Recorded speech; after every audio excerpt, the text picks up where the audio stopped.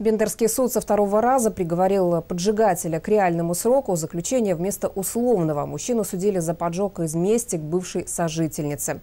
Погибли животные, но, как оказалось, суд не учел, что раньше обвиняемый уже угрожал убийством этой же женщине, облив ее горючей смесью. Юрий Чернявский продолжит.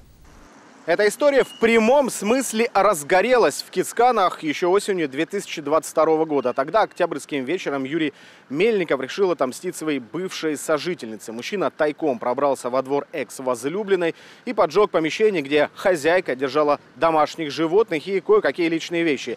Мельникова быстро вычислили и задержали. Отпираться от предъявленных ему обвинений он не стал. Сумма ущерба составила чуть больше 7 тысяч рублей. В итоге Бендерский городской суд приговорил мстительного поджигателя к двум годам и шести месяцам лишения свободы условно с испытательным сроком два года. Прокурор категорически не согласился с решением суда и сразу обратился с кассационным представлением в Верховный суд.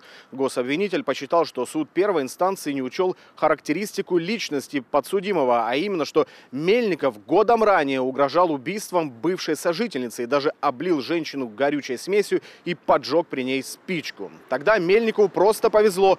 Он отделался всего лишь штрафом, который до сих пор не оплатил. Этих подробностей в поведении Мельникова было достаточно, чтобы судебная коллегия по уголовным делам Верховного суда отменила приговор в связи с мягкостью наказания. И вот со второй попытки Бендерский городской суд все же отправил Мельникова за решетку. Поджигатель получил все те же два года и шесть месяцев, только уже не условно, а в колонии поселении.